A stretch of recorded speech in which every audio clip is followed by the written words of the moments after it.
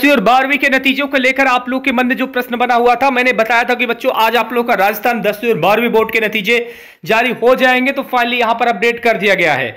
और एक चीज़ कहूँगा, देखिए, आप लोग कहते हैं कि सर न्यूज़पेपर कटिंग की लिंक दिया करें, ठीक है?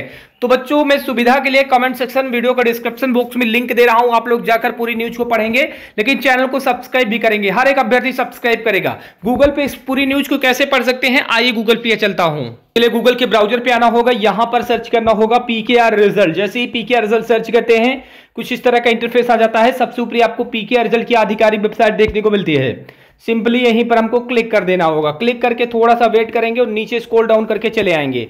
तो यहाँ पर आप लोग देख सकते हैं जीडी के नीचे आप लोग का आरबीएससी रिज़ल्ट देखने को मिलेगा। सिंपली इसी पर हमको क्लिक कर देना होगा। जैसे हम लोग यहाँ पर क्लिक करते हैं, कुछ इस तरह का इंटरफेस आ जाता है।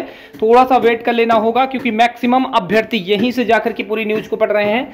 तो आप भी न्यूज़ के सेक्शन में जाकर यहाँ पर क्लिक करके दोस्तों यहाँ पर आप लोग न्यूज़ को पढ़िए और जैसे ही आप लोग का परिणाम जारी होगा, यहीं पर परिणाम भी आकर चेक कर सकते हैं। बहुत सारी शुभकामनाएँ। जय हिंद